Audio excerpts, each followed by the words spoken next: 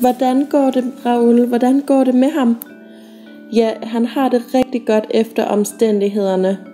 Men der, altså, der går lige et par dage, inden han er helt på dupperne igen. Ej, nu er jeg så beroliget. Jeg var så nervøs for ham. Må jeg komme ind og se ham?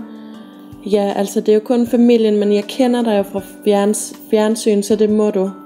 Min kære Ul, jeg er så ked af, hvad der skete. Det er forfærdeligt. Jeg troede da virkelig, at jeg troede virkelig, der var sket noget med dig eller Rikke. Det er forfærdeligt. Jeg kunne ikke vide, hun ikke havde noget kørekort, af det, og så giver vi hende en Porsche. Det er forfærdeligt jo, og så går det galt. Åh oh, nej. Lægen han siger altså, at du har det godt efter omstændighederne, men at det lige tager dig et par dage. Jeg glæder mig så meget til at se dig igen. Jeg vil komme og besøge dig hver eneste dag. Og så fortælle dig nogle ting. Tag dit yndlingsmusik med. Åh, jeg lød som om jeg sov. Jeg er så træt, jeg havde overhovedet ikke lyst til at snakke. Og Gab- Gabi hun snakker lige så meget som et helt fodboldslandhold. Altså som et vandfald. Gabi, Gabi, kom og snak med os. Hvad, hvordan har Raoul det? Hvordan har Raoul det?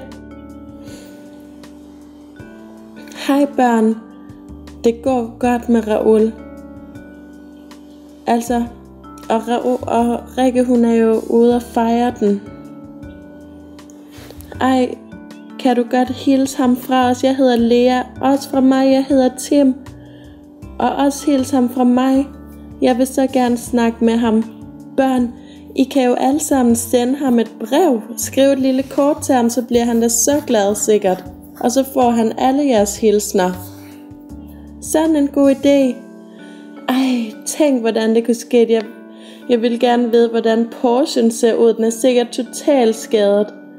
Godt, der ikke skete noget med dem. Godt, at, at Rikke hun er på ferie nu her, så hun kan øh, bearbejde chokket. Ej, det var forfærdeligt, stakkels Raoul. Og så der på live-tv. Det var den... Jeg kunne overhovedet ikke vide, at man skulle bruge et kørekort for at træde ind i sådan en Porsche, og så gik det bare forfærdeligt. Åh oh, nej, altså.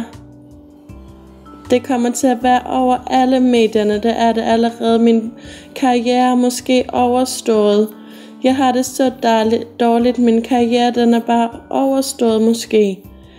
Altså, skriv gerne til mig en kommentar, hvis I har en god idé på, hvordan jeg kan hjælpe Ole igen. Måske kan jeg give ham en Porsche, men den er jo totalt skadet. Men når den er blevet repareret, så kan jeg give ham den. Er det ikke en god idé?